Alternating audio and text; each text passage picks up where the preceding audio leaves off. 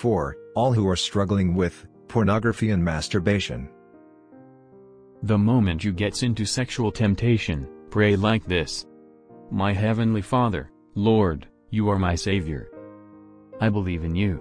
I believe in Jesus Christ. I believe that you died for my sins. You have the power and authority over me. Evil doesn't have any authority or power over me. You have bought me with your blood. I am yours. As the Bible says, my grace is sufficient for you. Lord, please fill me with your grace in order to overcome, flee and resist sexual temptations. I cannot do this alone as I'm weak. I cannot overcome this with my strength. Please strengthen me spiritually to overcome, flee and resist this sexual temptation as I am desperately willing to get complete deliverance from pornography and masturbation addiction.